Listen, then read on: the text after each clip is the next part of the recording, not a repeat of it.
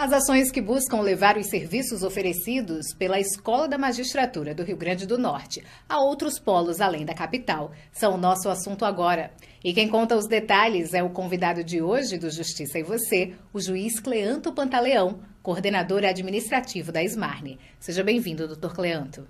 Ah, obrigado, Ariane. E gostaria inicialmente de agradecer o convite feito. É sempre importante a oportunidade de, de prestar contas e falar um pouco sobre a Esmarne. Com essa intenção de levar os serviços da Esmarne para o interior do estado, a escola está prestes a ter uma sede na comarca de Mossoró. Exato. Uh, no dia 27 de setembro será o lançamento da, da Pedra Fundamental de Mossoró e isso num, dentro de uma política de interiorização da, da, dos serviços da Esmarne.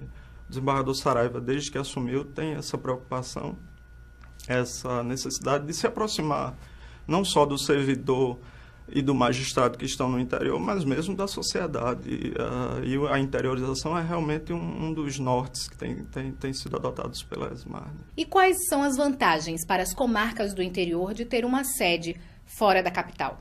Uh, notadamente evita essa necessidade de que o servidor tenha que se deslocar para a capital para cursos, para treinamento. Isso envolve custos né? e também o tempo que esse deslocamento envolve. A Smarne tem investido também em educação à distância. É, é uma das preocupações. Na verdade, isso ainda está sendo gestado, é, é algo que tem sido uma preocupação nossa. E, e já está sendo estão sendo tomadas algumas providências relacionadas à contratação, inclusive, de, de uma estrutura própria para a gravação do, do, das aulas e dos treinamentos, enfim, do nosso material, para disponibilizar isso para uh, os servidores do interior e magistrados também. A Smarne também tem investido na qualificação dos professores. Agora, em setembro, a escola vai promover mais um módulo de formação de formadores. Uhum, exato. No dia 19 e 20 de setembro haverá uh, esse curso de formação de formadores, que é uma preocupação da Infam e, e uma diretriz da Infam de modificar a forma de treinamento e a forma de aula né, o estilo mais tradicional da aula, em que o aluno tem uma postura muito mais passiva, está sendo abandonada.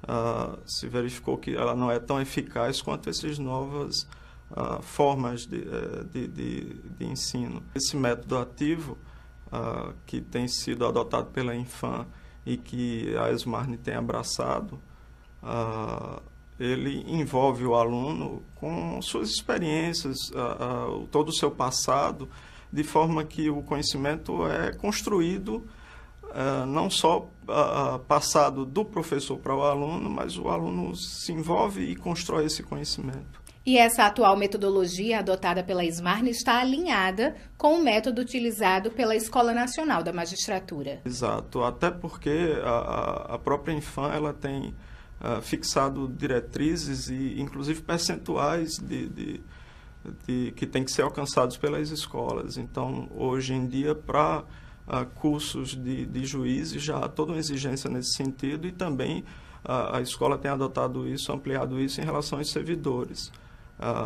Essa, esses métodos ativos eles melhoram muito a qualidade do ensino e, e, também é uma preocupação da gestão atual da escola exatamente adotá-lo e implementá-lo de uma forma mais ampla.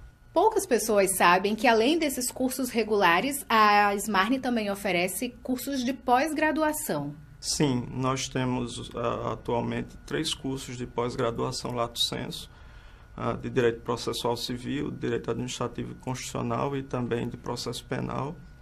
Além disso, nós temos um programa que é, eu considero de uma importância, importância ímpar, que é a residência judicial. Então, são cursos voltados para pós-graduação né, e que tem um, tem um resultado efetivo mesmo para a escola. E também atende ao público externo com esses cursos de pós-graduação? Sim, sim. Uh, embora, obviamente, o objetivo maior da escola seja uh, uh, cursos de formação inicial e continuada de magistrados e também cursos de formação de servidores, a Smart tem se aberto também para o público externo e para colaboradores externos. Ah, como foi perguntado anteriormente, com relação ao curso de, de formação uh, uh, de formadores, né, que é conhecido como FOFO, no dia 19 e 20 nós teremos um, um, curso aqui em Natal, as inscrições estarão abertas até o dia 23 com relação ao público interno e de 26 a 30 de agosto com relação ao público externo. parceiros nossos que poderão fazer esse curso. é um curso voltado para quem já tem o nível, uh, um, enfim, cursos anteriores do, do, do, mesmo nível, é um terceiro uh, uh, módulo do nível 1. Então, é um público mais específico, mas que atenderá não só juízes e, que, que têm já esses níveis anteriores, mas também eh, parceiros. Ok, obrigada pelas informações, doutor Cleandro. De nada. Obrigada. E o Justiça e Você de hoje termina por aqui, mas você continua com a gente pelo WhatsApp com o TJRN Informa, pelas nossas páginas das redes sociais, na Rádio Web Justiça Potiguar, disponível na internet, e pelo site do Poder Judiciário, tjrn.juiz.br.